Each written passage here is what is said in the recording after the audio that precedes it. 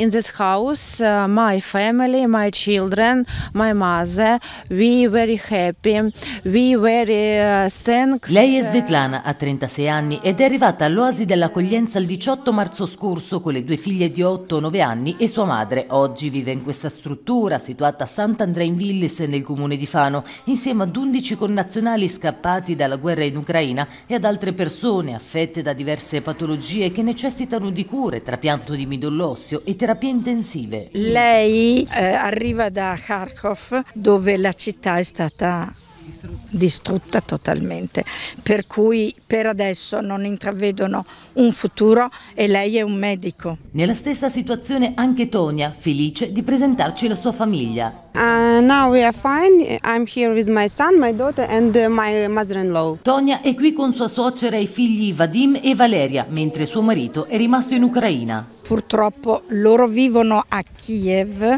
e in questo momento sembra però tutti i giorni, almeno 3-4 volte al giorno, anche sul cielo di Kiev cade, mh, mm, tirano qualche piccola bomba, mi diceva proprio ieri. E quindi ancora ripartire con i bimbi, anche se lei ci tiene moltissimo, loro ci tengono tantissimo perché chiaramente il papà è là e, e loro non vedono l'ora di rientrare però è, è chiaro che se non prima c'è la certezza, adesso hanno la speranza di eh, ieri che era la Pasqua ortodossa e del 9 che è un po' la giornata mm, che riprende la loro liberazione dalla loro democrazia.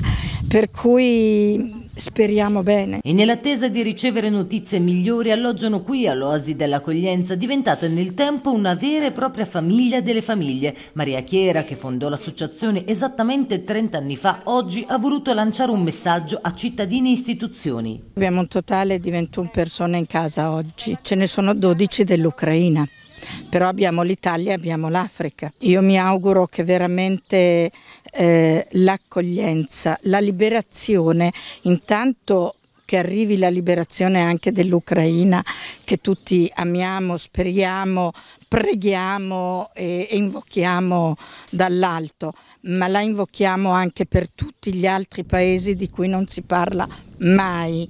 Noi che accogliamo anche l'Ucraina, anche gli ucraini, ci sentiamo però di sottolineare che gli africani non sono da meno, che gli indiani non sono da meno e che molti italiani non sono da meno per cui le difficoltà burocratiche continue per i permessi di soggiorno, per questo, per quell'altro, credo che siano state fatte due pesi e due misure, seppur felicissima, e lo rimarco, felicissima del, eh, dell'accoglienza fatta agli ucraini, ma questo bisognerebbe farlo per tutti, si porti alla mente la libertà alla mente di rendere libera sto fazzoletto di terra che ci è stato donato e visto che ci è stato donato è bene offrirlo ma a 360 gradi.